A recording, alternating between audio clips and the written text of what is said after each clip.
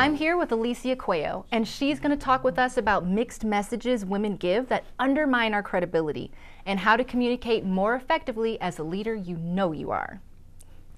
So, Alicia, tell yes. me about some of these mixed messages you're talking about.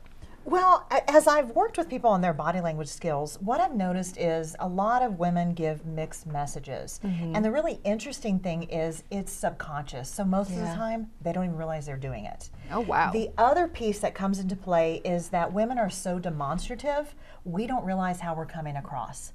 So okay. when you put those two together, it actually undermines your credibility because we mm-hmm. inadvertently give mixed messages.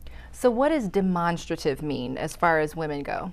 Uh, we're very, very expressive with our hands, yes. with our face, with our body movements. Uh-huh. And if you watch men, they're much more controlled, much more quiet. Okay. And so when women become really demonstrative and it doesn't match their um, their message, it actually undermines their credibility. Mm-hmm. So what I'm talking about is when you go into a, a room and you say you, you come across very assertive and you say, you know, I don't agree with that point. Yes. But then you follow up with kind of a giggle. We oh, do that. Yeah. That, I've done that so many times. That awkward giggle, like you're not sure. Exactly, mm-hmm. exactly. So what happens is we're actually hardwired to believe your body language. Okay. So when you're giggling or when you're smiling because you're giving something serious, um, people tend to go with your body language and think she's not serious about what she's saying. Yes. And it actually diminishes your credibility in the boardroom, if you will.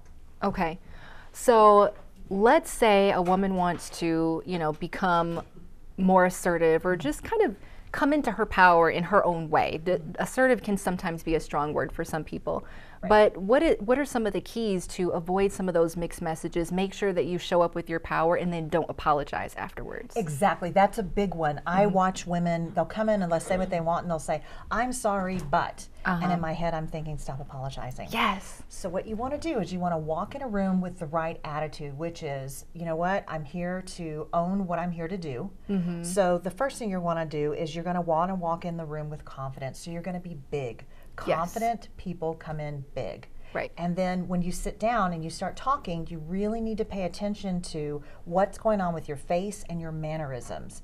And that takes mm-hmm. practice. That's not something that most people can do overnight because as women, we're conditioned to be more. Um, demure right. and more playing towards the men. So if I tell you something and you're a man, I might do something like, Oh. Yeah, and kind of look down. and it's just we're conditioned that way because in in the corporate world, uh-huh. it's unfortunate, but we don't want to be labeled as being a bitch.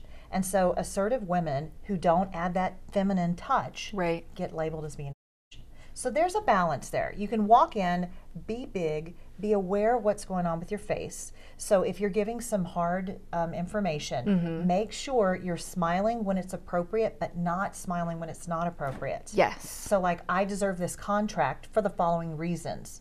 Don't stand there and smile because it actually undermines your credibility. You yeah. need to be serious with them. One of my favorite books, The Charisma Myth, yes. she talks a lot about that. And she talked, I think she referred to it, and I'm paraphrasing probably, but she referred to it as smiling with intention. Yep.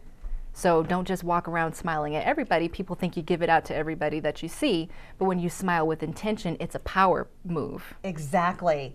And so we've been conditioned as women to smile all the time mm-hmm. to lessen the impact. Yes. And it just diminishes our credibility. So smile when it's appropriate mm-hmm. and then don't smile when it's not appropriate. Okay. And if you need some cues, look around the room and see what are other people doing in the room at that moment. Right. And if they're not smiling, maybe you shouldn't be smiling.